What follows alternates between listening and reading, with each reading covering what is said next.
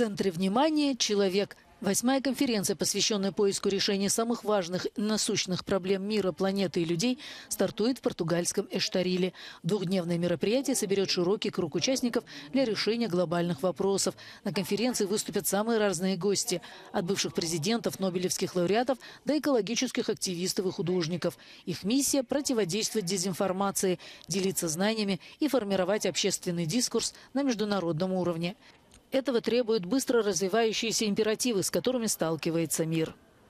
What we are seeing today is that uh, uh, it's very quick the change uh, the, the world is facing and Europe is facing. And, uh, and of course, so these conferences are more needed than ever. As the Estriel conference gathers momentum, participants are engaging in critical discussions regarding the future of our planet, epitomizing a need for change.